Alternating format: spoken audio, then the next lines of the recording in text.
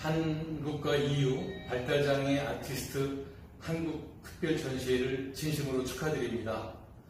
이 전시회를 만들기 위해 노력하여 주신 많은 분들, 특히 발달장애인과 정보 소외계층 지원을 위해서 애써오신 휴먼에이드와 휴먼에이드 포스트, 그리고 이번 전시회를 기획하신 비채 어, 아트뮤지엄 관계자분들, 그리고 멋진 전시 공간을 마련해 주신 예술의 전당 관계자분들께 진심으로 어, 감사 인사를 드립니다.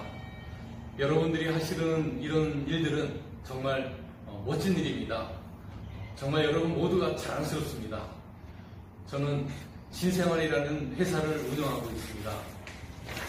이 그때 이 회사를 이름을 지으면서 담았던 의미는 어, 이름 그대로 새로운 삶, 더 좋은 삶을 만들어가자 였습니다. 여기에는 장애인들을 포함해서 우리 사회의 약자들과도 더불어 함께 살고자 하는 의미도 담고 있습니다.